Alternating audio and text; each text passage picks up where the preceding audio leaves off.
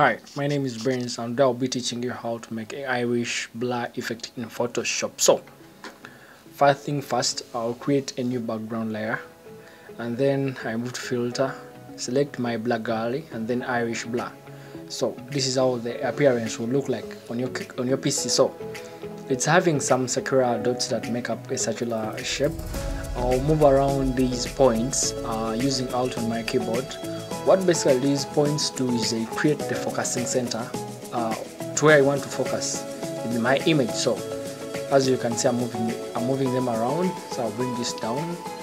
As you can, as you have been noticing, the background is getting a little bit blurry. I'll adjust my blur pixel to 32, and then I'll press OK when I'm done selecting all this out. So as my blur is loading, uh, we're definitely going to be able to notice any change in